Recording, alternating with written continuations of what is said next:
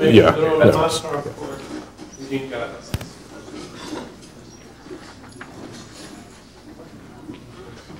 All right, thank you. I see people are settling back in with their coffee. All right, so I am going to talk about how stuff in galaxies gets arranged. All right, so I, I know this is a mostly cosmology meeting, and at cosmology meetings, galaxies are often approximated as it's not a cosmology meeting. Sandy's shaking her head at me. It's a galaxies meeting. It's an ex. It all looks the same to me. Remember, I started my career working on things that are you know less than a kiloparsec away. All right, so it's far, and people who think about far tend to regard galaxies as points. So the theme of this talk is that galaxies are not in fact points, and we should maybe pay a little bit of attention to that.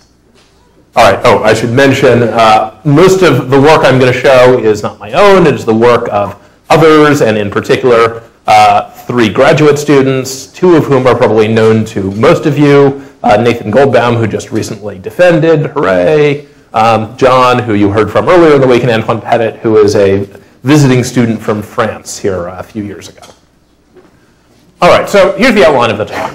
So I want to start with what we know about the radial distribution of gas star formation in metals and galaxies in the local universe, because that's really the thing I want to focus on trying to make sense of. How did galaxies get into their current shapes? Then I'll talk about how stuff gets moved around in galaxies, and I'll focus on, in galactic disks, the transport of mass and metals. I'll talk a little bit about what happens at the very centers of galaxies, and then I will summarize for those who have fallen asleep. All right, so slight lag there. Um, let's talk about, well, how is gas arranged in galaxies in the local universe? So in disks in the local universe, turns out gas is distributed in an approximately exponential distribution. All right, so here's total gas surface density versus radius, and you can normalize things to R25, and you see you wind up with this fairly universal exponential profile. All right, now, most of the gas inside, about half of R25, so inside here is molecular. Most of the gas further out is H1. All right, so there seems to be this fairly universal profile. The scale length's about half of R25, and again, inside half of R25, most of the gas is molecular. Outside, it's not. We'll see a few galaxies, including our own Milky Way, have central dips, have a gas surface density distribution that goes down in the center. That's a sort of 10% effect. About 10% of the population has a central hole for L-star galaxies. The other thing I want you to notice is that the H1 distribution is extremely extended. All right, this plot stops at 20 kpc, but in fact you can detect it significantly further out. You can routinely detect 21 centimeter emission 30 kpc from the center of a galaxy. All right, so the H1 disks of galaxies are very extended compared to their stellar disks. And as you go further and further out, you just get more and more gas rich. All right, so how about the star formation? How's that arranged? Well, we've heard this several times. In the centers of galaxies, the H2 depletion time is roughly constant. It's a few gig years. All right, and star formation just sort of follows H2. All right, so what that means is that since most of the H2 is inside half of R25, that's where most of the star formation is too. All right, the star formation distribution more or less just follows the H2 distribution. All right, so star formation is more centrally concentrated than total gas because it's following the H2 and not the H1, which is, again, more centrally concentrated than all the gas put together. All right, and so here's a plot of that depletion time versus uh, orbital time as a proxy for distance from galactic center from Adam Leroy's most recent paper. And you see, again, a constant depletion time, sort of independent of where you are in the galaxy, in the molecular gas. All right, so star formation just follows the molecular gas. Now, this means that some galaxies do have star formation quenched in their centers. It's more or less the same proportion that are missing gas in their galactic centers. If you've got gas, it'll generally tend to be star forming in the center of a galaxy. If you want to quench the center, the way you do that is you get rid of all the gas. All right, but there, there's a slight complication on top of that. If you look a little more carefully, you do find something interesting going on in galactic centers. All right, so here is a ratio of the depletion time to the mean depletion time as a function of galactocentric radius. And so you see in the outer parts of disks, not surprisingly, this is flat. This is just a ratio of depletion time to the average of depletion time. It should be about flat. But in the innermost parts of galaxies within the central sort of 1 kpc, you see that, in fact, the, the uh, mean of these blue and green points is a little lower. All right, there's a very wide dispersion, but roughly speaking, what you see is that sort of a third of galaxies have normal depletion times in their galactic centers, and about two thirds have shorter depletion times, which means they form stars a little more rapidly in, the, in their centers. Not a huge effect, you know, sort of a third of a dex, but it's detectable. All right, so that's how star formation is arranged in galaxies. So this is a problem, and here's why it's a problem. All right, in order to supply that star formation in a typical L-star galaxy today, you need about a solar mass per year, just because that's the rate at which gas is forming stars. All right, here's a plot of the uh, Schechter function for star formation rate in the local universe, and you see that it's sort of, you know, order of solar mass, a few solar masses per year is, is the L star for star formation. All right, now, inside R25, the time to consume your available gas supply is much less than the Hubble time. That's true at z of 0. We heard from Linda that it's true at high z also. And I'm just illustrating this here. Here is the depletion time, or the inverse depletion time, is a function of galactocentric radius. And this dashed line I've drawn here is where the depletion time equals the Hubble time. So everywhere inside about R25, the depletion time is much less than the Hubble time. So you'll use up all your available gas supply in less than a Hubble time. And here's where we have a conundrum. The conundrum is, all right, well, most galaxies aren't quenched in the center. All right, only maybe 10% are. So we can't run out of gas in the centers, all right? And we have to be resupplied much more quickly than the Hubble time.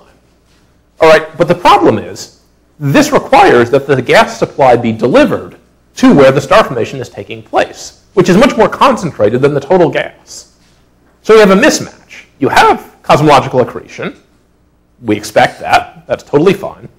The problem is, cosmological accretion should mostly be occurring at large galactocentric radii. But where we need the gas to keep the star formation going is at small radii. It's in the centers of galaxies. So somehow we have to get the mass from the outside to the inside. All right, now you can partly offset this problem by recycling material from old stellar populations. That'll help. But it seems unlikely that that can solve the entire problem for reasons of metallicity and for a variety of other reasons, including the fact that if you are solely burning resupplied fuel, then you should have no deuterium left in the centers of galaxies, for example, because that should all get destroyed, and that's not what we observe. All right, so this is the problem. There's a related problem, which is the metals. All right, so you can ask, suppose that I think gas sort of stays where it, it where it lands. All right, suppose I think that there's no moving of gas in galactocentric radius within galaxies, and the same for stars. What should the metallicity distribution look like? All right, and you can say, well, all right, let me take two simple chemical evolution models. All right, two extremes. I can take a closed box or an accreting box. And in either one, the metallicity is equal to the yield. That's just something that depends on the IMF and nucleosynthesis, and the gas fraction. All right, and it turns out these two different functions you get look more or less the same when the gas fraction is near unity, which it is in the outer parts of galaxies. All right, so stars are exponentially distributed in galaxies. Typical scale length is about a quarter of R25. All right, now gas has a scale length of about half of R25, so that means that as you go out, you get increasingly gas rich. So the gas fraction goes up as you go to the outer parts of galaxies. And if you just plug into these formulae, here is sort of what you predict for the metallicity as a function of galactocentric radius in the outer parts of galaxies. All right, in the inner parts, what you'll get depends on whether you're accreting or a closed box, but in the outer parts where the gas fraction is small or is very large, you get about the same thing, and you get a very steep gradient that more or less just follows the gas fraction. All right, and that's just because you get metal production that's just proportional to the tiny amount of the gas you've turned into stars. That's all. The problem is, you don't see anything like that. All right, if you look at what's actually seen outside of R25, and here's some data from Jess' work, it's flat. All right, so if stuff just sits where it's made, if the metals just sit at the galactocentric radius where they're made, the gas just sits the galactocentric radius where it's made, then you get unavoidably a very steep gradient in metallicity at large galactocentric radii, and that's exactly the opposite of what we observe. All right. We also observe that there's very little azimuthal variation. All right, and we'd like to explain that too. All right, so that's the problem that I want to address in this talk. These observations, are this, is this probing, because you measure this at, at H2 regions, and therefore you measure it exactly where you have star formation. If you'd actually average out the metallicity over all the gas, all the forming stars, it would be much lower. Uh, no, the, there doesn't seem to be any evidence of that. So first of all, I can say you can measure from H2 regions, but you can also use planetary nebulae, which are which are you know sort of not measuring the gas right where the stars are forming, it's measuring the gas around the white dwarfs that are forming planetary nebulae, and you don't get substantially different results. All right, so what I'd like to propose is that there's a simple solution, which is to remember that galactic disks are disks, and disks are accretion disks. All right, a disk is God's mechanism for separating mass and angular momentum. All right, that, that's you know what disks exist for. All right, they transport angular momentum out and mass in, and there's no reason that galactic disks don't do this, just like every other disk in the universe. All right, and so to have this transport, you need some form of turbulence, and the dominant source of turbulence in galactic disks, I'm going to argue, is just gravity. Galactic disks are self-gravitating. All right, so here's my cartoon. We have IGM accretion coming into large galactocentric radii. We have an inflow through the disk toward the bulge. All right, and the way the energy balance works here is that if you've got turbulence and you've got no source of energy input, the turbulence will invariably decay. That will lower your velocity dispersion. All right, and that in turn will push you towards gravitational instability. Your Toomre Q will go down. All right, but Toomre Q is a measure of stability against gravitational uh, collapse. And if your Toomre Q gets too small, then you'll get an instability, and that instability will transport mass inward, and angular momentum outward. And when you move mass down the potential well, well, its gravitational potential energy gets more negative. Its kinetic energy, to conserve energy, has to go up. So that raises the velocity dispersion. All right, so that's how the energy balance in this system works. Your turbulence is decaying, you're losing energy to make that up, you move mass down the potential well, that drives turbulence and raises the velocity dispersion back up. Now, you can also have star formation feedback, and that can raise your Toomre Q as well, of course. All right, but that can't be that important at large galactocentric radii just because there's so little star formation out there. All right, if I go out to like 2R25, where remember, there's tons of H1, right? I have tiny little dinky supernova remnants scattered in this vast disk of H1. All right, so it can't be the supernovae they're dominating out there. All right, so I'm going to argue that instead it's really gravity that's running the show. All right, so to try and convince you of that, I'm going to show you some simulations, and this is Nathan Goldbaum's work. So these are isolated galaxy simulations. All right, they were run at 20 parsec gas resolution, live stars and dark matter. And this is, these simulations are sort of similar to some of the work that, for example, Florent Renaud has done, that others have done. What I'd say is that this is sort of intermediate between the cosmological simulations and the local galaxy simulations in that we don't have quite the resolution of the highest local galaxy simulations, but we're going to run significantly longer so that we can actually reach something like a steady state. All right, so we're going to run for 600 mega years. All right, our initial conditions are taken from the Agora isolated disk initial conditions. So these are Milky Way-like galaxies. We include photoelectric heating, cooling to less than 100 Kelvin. So we develop a realistic multi-phase ISM. We've got H2 region and supernova momentum feedback with a time delay. All right, and we can also do runs without feedback as a control to understand what's going on. And we'll try a range of gas fractions appropriate to the local universe, 10 to 30%. All right, so here's your reward for sitting through that. This is what one of these simulations actually looks like. All right, you can see that it collapses, it forms a flocculent spiral pattern. This is one of the simulations with feedback. So if you watch carefully, you'll see that whenever a region starts to collapse, it gets blown apart by the feedback. All right, and we run until we reach a statistical steady state. All right, now, what do we learn from these simulations? Well, we learn a few things. One, the disk stabilizes at a Toomre Q of about 1. All right, and that's shown here. Here's Q gas in our low gas fraction, fiducial high gas fraction. Now, the important thing is this result is unchanged whether or not we include feedback. We can have no feedback whatsoever. The disk still goes to Q of 1. All right, the thing that makes galaxy disks have Q of 1 is not star formation feedback. It's gravity. Because if you try and go below Q of 1, you will drive turbulence that will drive mass inward, and that will raise the velocity dispersion. All right, so we get Q of 1 and a velocity dispersion of about 10 kilometers a second, independent of whether we include feedback or not. All right, so this is, has important implications. If your model for sort of what maintains Q of 1 involves star formation feedback, well, no, in fact, star formation feedback is not required to maintain Q of 1. It's not even helpful for maintaining Q of 1. What maintains Q of 1 is the same thing that happens with any instability. Instabilities tend to self-regulate into a marginally stable state. That's what every fluid instability does. I don't see Q equal to 1, I see Q equal to 10. So, so, so if you wait long enough, it does go higher, and the reason it goes higher is that we run out of gas in the simulations without feedback. These are the no feedback simulations. And so if you eventually, if, if you wait long enough, you'll run out of gas, and then Q will go up. In the simulations with feedback, we have a much lower star formation rate, and Q stays at 1. All right, so in fact, having feedback, ironically, doesn't raise Q, it lowers Q because it prevents you from running out of gas. All right, and we maintain this velocity dispersion of about 10 kilometers a second even without feedback. All right, so that's lesson number one. Lesson number two is that we move mass around. All right, so let me walk you through this sort of somewhat complicated plot. All right, so the x-axis is radius, the y-axis is time. So at every radius and time, we can ask, what is the average mass flux through that region? And we colored it either red or blue, depending on whether the mass flux is inward or outward. All right, and so you can see initially we're dominated by sort of transients from our initial conditions, but after a while we reach this sort of fully turbulent state. And then we can ask at each radius, if we average above this blue line when we've reached sort of fully saturated turbulence, what's the mean rate of mass transport? Because of course, at times it's in, at times it's out.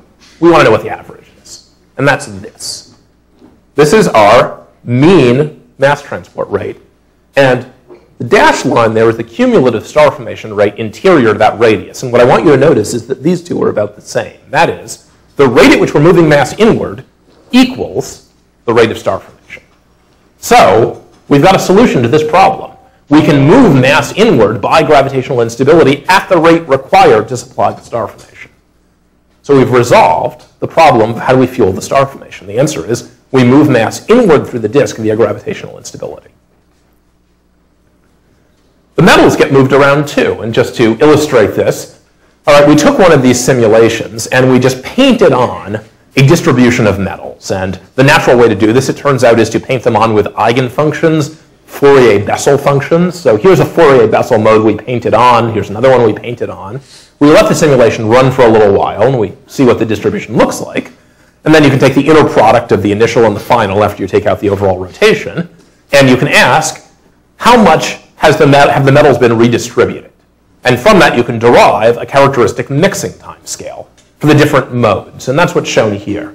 Here's our mixing time scale. And what I want you to notice is that measured in years or in galactic periods, for all the non-axisymmetric modes, all the m greater than zero modes, you completely mix out any metallicity gradient in about an orbit.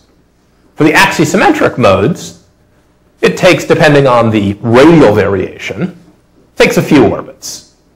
Maybe as many as 10 as we go to the biggest modes. But this is a mechanism for flattening a metallicity gradient. This is a mechanism for redistributing the metals and for guaranteeing that there'll be no azimuthal variation. All right, so the same turbulence that's moving mass around is also moving metals around. All right, you can also move metals around with thermal instability. I'm going to skip this in the interest of time because I want to talk about how we can put this into a cosmological model. And this is John Forbes' work. All right, because we now have some rules. The rules are our disk asymptotes to Q of 1, and it holds itself there via gravitational instability. And if you know that, you can then make a very simple 1D code where you enforce that. You can say, I've got an alpha disk, but instead of the alpha describing my viscosity being arbitrary, I'm going to choose it to enforce that Q stays at 1. And then I can just run a simulation over a cosmological timescale. All right, and we put in stochastic IGM accretion, star formation metal transport. We have this neat code that does this called the Gravitational Instability Dominated Galaxy Evolution Tool, or GIDGET. We're good at acronyms here. All right, so, so here's just an example of what one of these simulations looks like, and I just want to walk you through this diagram before I play the movie so you can understand it. What we're looking at here is the mass balance at different radii in the galaxy, and we have things that add mass and things that take away mass. Red is star formation and galactic winds, which take away mass. All right, mass can be transported either inward or outward by gravitational instability, and that's dark and light blue. And then we have cosmological accretion, which is orange. Right, and above and below the axis are things that add mass, things that remove mass. And what I want you to notice is that we've normalized things so that if the positive and negative terms are equal, then things stay in this band from minus 0.5 to 0.5. So, for example, at this snapshot, here, for example, cosmological accretion is balancing mass transport with star formation making a minor contribution. In here, inward gravitational instability and star formation are in nearly perfect balance. So mass is being moved inward by gravitational instability at a rate that equals the rate at which it's being consumed into star formation. Yes? Is that log or, or absolute? This is absolute, but it's been normalized to the, the absolute value so that between minus 0.5 and 0.5 corresponds to equilibrium. Up here, where it goes to 1, that means the, the mass adding terms completely dominate. All right, down here would mean the mass removing terms completely dominate. All right, so at large galactocentric radii, the only thing that's going on is cosmological accretion, more or less, and you're not in equilibrium. All right, so this is a snapshot. Let's look at how a galaxy disk evolves from redshift 2 to today. All right, and what I want you to notice is that we have this region of equilibrium in much of the disk, where we're in equilibrium between mass transport accretion and star formation. All right, so galactic disks are more or less in equilibrium between these processes.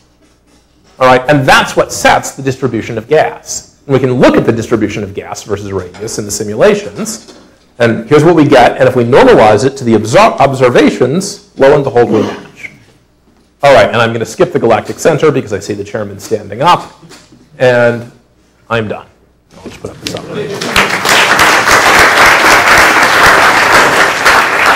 I, I thought about trying to dodge Piero, but decided against it. Even though he promised not to hug me, which was very kind. I, I think it's really uh, a key problem that you're addressing here. I just wonder, when the gas is flowing down, are you sure it's not forming stars in the process? Oh, it is forming stars in the process, so. So is it consistent with the fact that, as you said, you don't see that much star formation in the outer side of the Milky Way-like galaxies? Oh, so at very large goal, yeah. So if you if I go back to Or let's say, you know, the, the, the star formation distribution that we actually observe in the Milky Way with respect to what you would predict. So, so we did in the paper compare sort of where the star formation was taking place to the observations, and it is a reasonably good match. Now, partly that's because we put in by hand that star formation follows H2, and we have a model for where the H2 is that is calibrated against observations. It's theoretically motivated, but it's also calibrated against observations. So yeah, I mean, out here at large galactocentric radii, there's almost no star formation. And as you go in, lo and behold, here's where star formation starts picking up, and that's where you start getting an appreciable fraction of H2 in your disk. So you, you, you, you haven't mentioned the role, the possible role of a galactic fountain and uh, how it could uh, provide some uh, accretion which is not directly cosmological but actually triggered by the star formation. Yes. itself through the feedback and Yeah. So, so I, I didn't solely for reasons of time. So galactic fountains are certainly important, but if you actually look at the simulations that people who work on galactic fountains have done, you find that they tend to deposit their mass at radii that are fairly large. All right, where most of the mass tends to come in from a galactic fountain is not, you know, where the star formation is taking place. It's a little bit further out. It's sort of 10 kiloparsecs for a Milky Way-like galaxy. So it has the exact same problem as the cosmological accretion, which is that where you're adding most of the mass is not where most of the star formation is. And that's partly just a matter of area, right? The star formation is taking place mostly in a fairly small, by area, region of the galaxy. And so if you just dump stuff randomly, even if you have no, you know, no angular momentum preference, it'll mostly miss where the star formation is. There is an additional process, which is interaction of the. Yeah. with a bit of gas and this- No, no, that, that's, I'm referring specifically to those simulations. If you actually read their papers and ask, you know, so, so uh, I'm totally blanking on the guy's name from the, who, who's done the most work on this. Um, if you read those papers, it mostly lands at 10 kiloparsecs. So That doesn't solve the problem. It gives you mass, it just gives it to you in the wrong place. Okay, can I very quickly ask for a clarification? You made a strong statement on what feedback actually doesn't do rather than do. But, uh, you know, there is many forms of feedback, and I've learned they can be implemented in very many different ways. So how confident are you that your statement is robust towards all the possible variation in implementation, you know, in physical terms? Okay, so, so what I can say is in these simulations, we don't resolve Sedov-Taylor phase, and so we implement feedback as momentum feedback. All right, so we put in momentum feedback. That is more or less the same as what's going on in, for example, the fire simulations. What they're doing is mostly momentum feedback in their cosmological simulations. Feedback is really important for some things. It's really important for regulating the star formation rate. If we had no feed, if we have no feedback, then our star formation rate is way too high and it disagrees with observations. All right, so we need feedback to get the right star formation rate. We just don't need it to maintain Q of 1. All right, and I think that's robust in the sense that we can turn the feedback off entirely and we still get Q of 1. Yeah, do you have a sense of how a bar would uh, shift the equilibrium that you're talking about?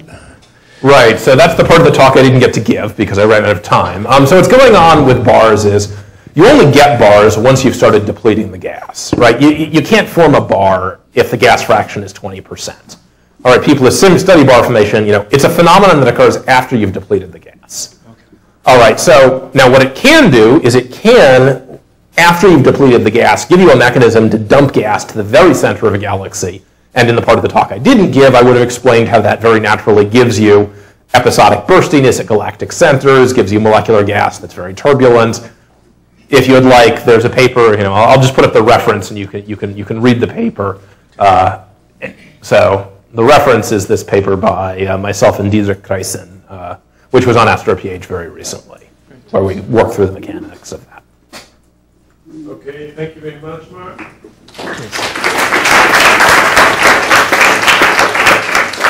Next is Pablo Perez Gonzalez, uh,